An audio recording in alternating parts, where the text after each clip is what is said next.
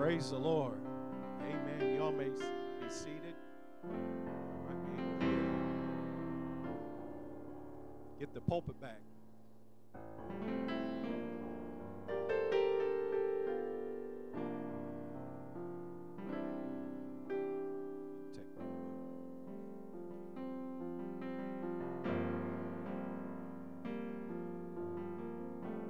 Man, I'm thankful for the power of the Lord. Serving a, a dead God, I'm serving a mighty risen Savior. It's in the world today. Amen. Amen. I know that it's a little bit later, and I promise I will take heed to that. Praise the Lord. But I do have a thought I'd like to share with you. So if you'd be so kind for the reading of the word of the Lord, I'd like to draw your attention to the book of Mark. Mark chapter 14, verses 32 and 35. Praise the Lord. and it came, and they came to a place which was named Gethsemane. And he, Jesus, saith to his disciples, Sit ye, ye here, while I shall pray.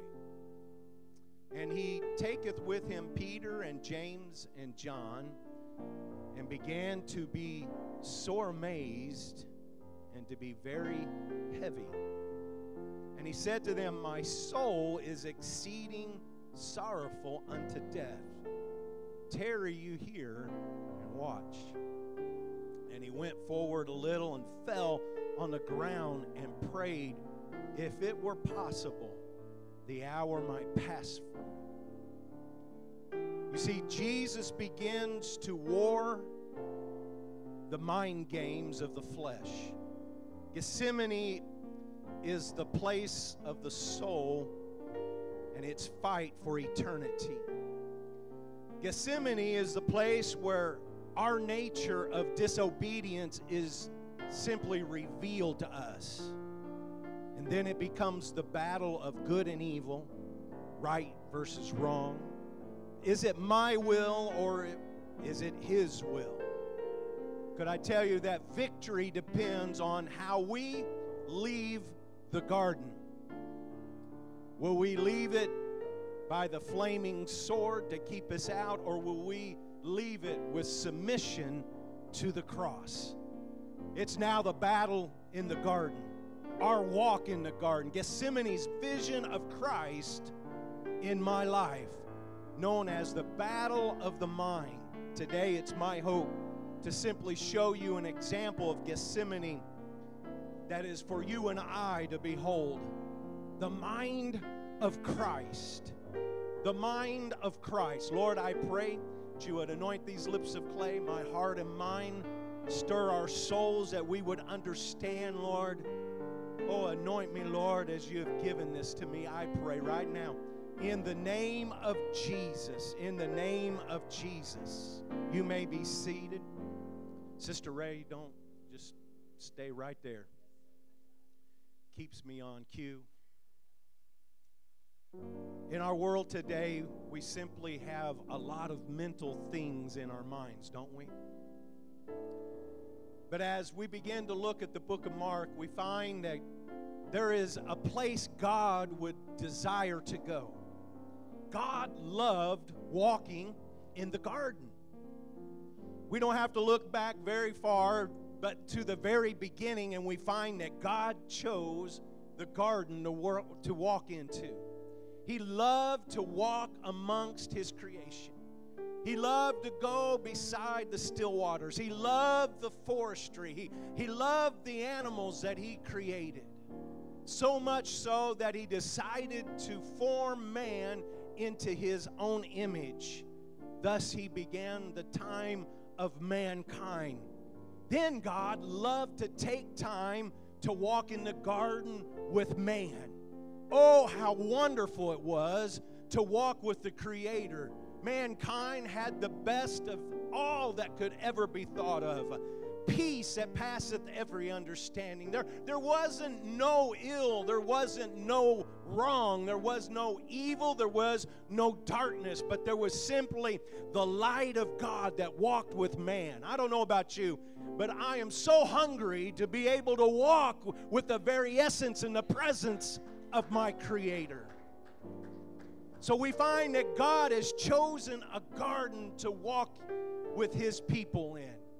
I find it ironic that we would find in the Gospels where Jesus would go to a place, a garden, Gethsemane, and he would desire to walk with his followers there. But oftentimes, after the darkness had fallen on man's eyes, we can no longer keep the pace of the presence of God. And so, God would still love to go to that familiar place uh, and begin to visit one more time. Oh, there he could visit mankind as oft times before and enjoy the company uh, of a like minded, just be simply being in the presence of his creation. You see, it's at Gethsemane that we learn it is a place Jesus was familiar with. It would be where he would learn to walk with this new man, this old man, but a new nature of man. You see, we need to learn how to walk in the garden. We don't need to be driven by our flesh. Oftentimes, we are driven by the desire of our flesh. It shouldn't be because of our thoughts, our wants, our will, our desire, our mindset, but it should be that I desire to have the mind of Christ.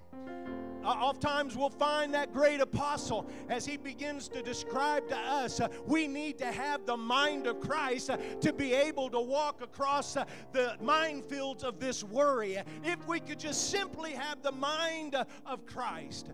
But I'd like to bring to you today that really we don't understand the mind of Christ. I like what Mark does. He begins to paint a picture of the garden. You see, Mark's version gives a look at the Creator dealing with mental darkness of His creation. In fact, Mark is known as the earliest of the Gospels. Mark would be the one that would run around with Peter. Him and Peter were real close, and he would be that scribe that would pen those first words. He, he would hear the gospel message. He would hear about uh, being filled with Jesus and uh, Spirit and, and being baptized in, into Christ's name. He, he would be the, that one that would prescribe that, that in the end time they will know them by the, the speaking in other tongues, that spirit of utterance that would come forth. It would be in this type of mind frame that Mark would write. In fact, it would be the foundation that all the other gospels would build upon. And so in his version, we simply get a visual of our Creator in a different mode altogether. You see, it's a battle of the mind. Many times the evil will try to make us think that we've lost our mind. Anybody feel like maybe somewhere down along the line you've lost your mind? That's the enemy, the stresses of this natural life moving in, this life of disobedience that sometimes claims us, and we need to find a way to overcome those things. So it becomes a plague or a ba- battle of the mind. And so, to overcome this darkness, Jesus would have to overcome the mind of his own flesh. Mark begins to show Jesus' expressions, his emotions, his very actions in raw detail as he would begin to describe to them uh, his feeling, his closest followers. Uh, Man, I feel sorrowful. I feel heavy about what's about to happen. There's something in my future that shakes me to the core. So much that the writer would give emphasis uh, that we would understand uh, that there was a sorrowfulness and a terror that the Lord was feeling in his flesh uh, at the moment of Gethsemane in the moment of his place of familiarity, uh, of being the God that could conquer everything, uh, he looked into the darkness uh, of the sin sect of man's mind and found out how deviant, how flawed it really was.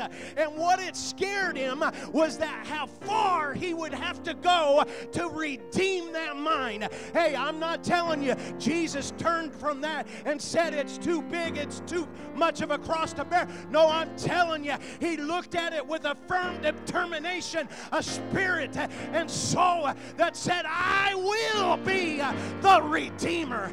I will be that one that will pay the price. The mind of man may be dark, but Christ said, There's no valley too low, there's no mountain too high that I'm going to cross it to obtain the goal. And the goal that I have, James, John, and Peter, is that one day you'll be able to preach the gospel message with power and authority. Because those things that you've seen me do, you shall do greater by my Spirit. Hallelujah.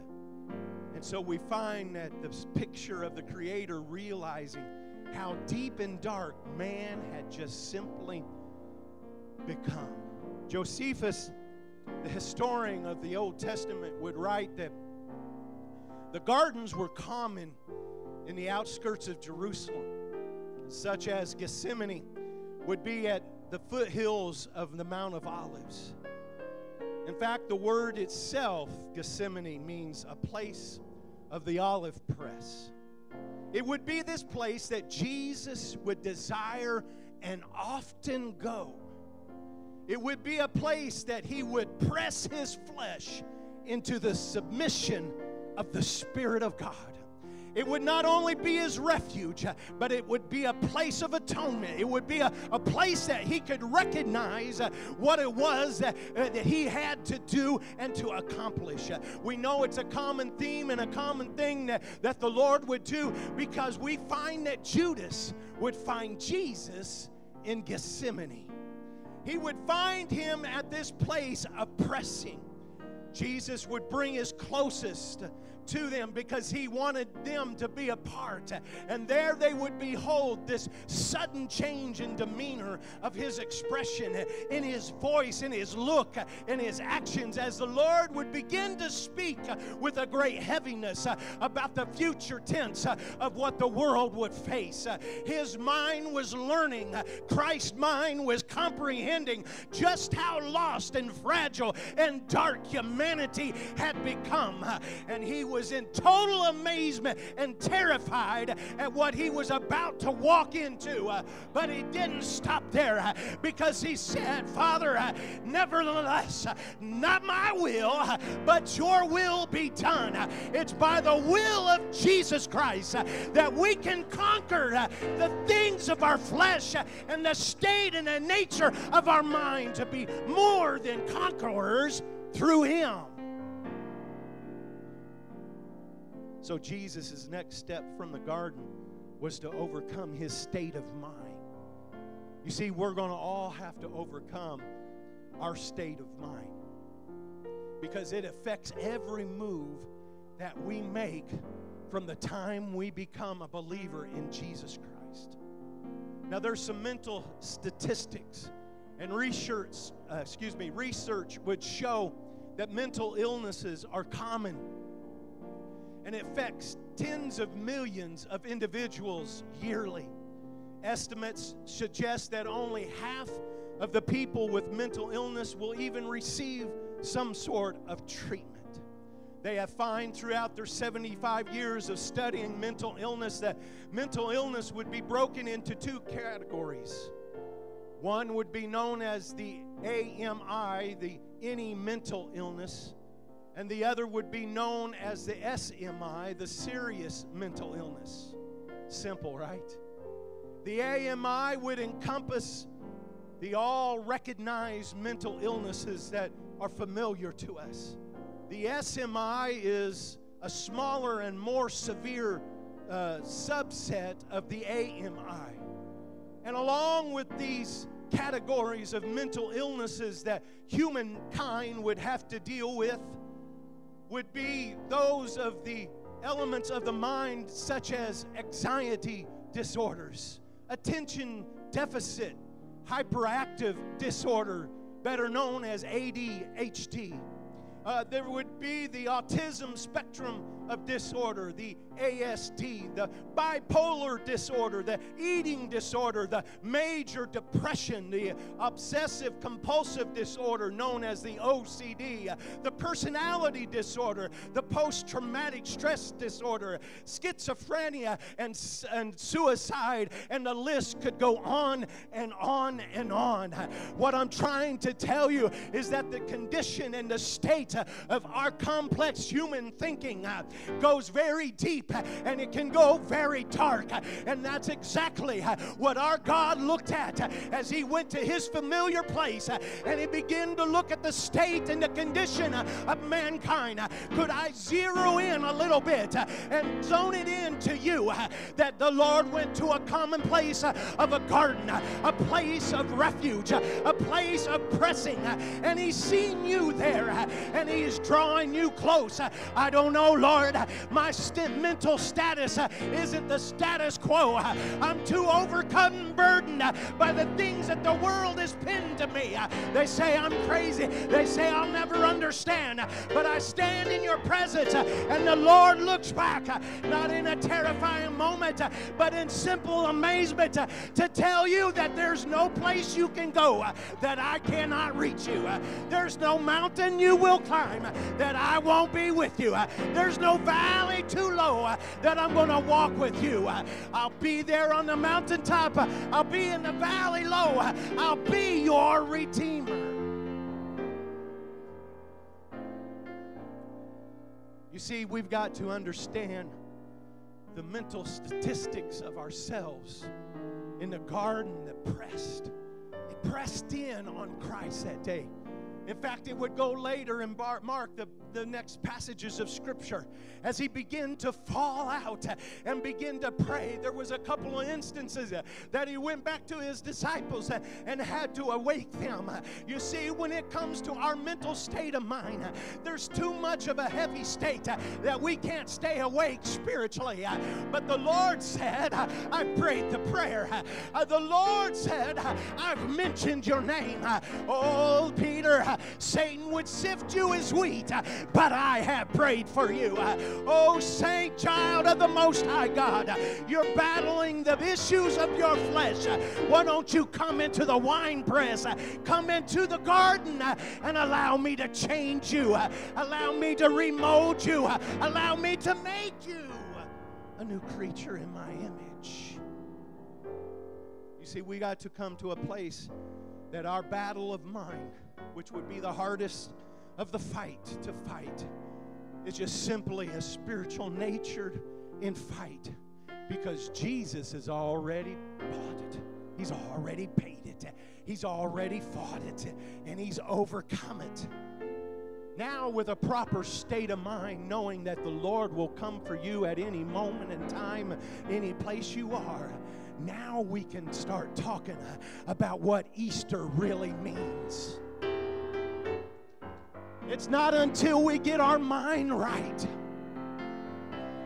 It's not until we can walk with Him and know the values of His blood it's not until my mind says, Lord, I'm giving it all to you, that we wouldn't understand the stretching forth upon a cross and driving nails into the hands and the feet of a man that looked and said, I'm the Redeemer. I am the Christ.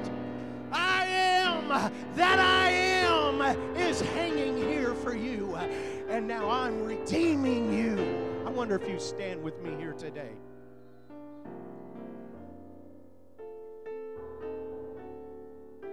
You want the mind of Christ?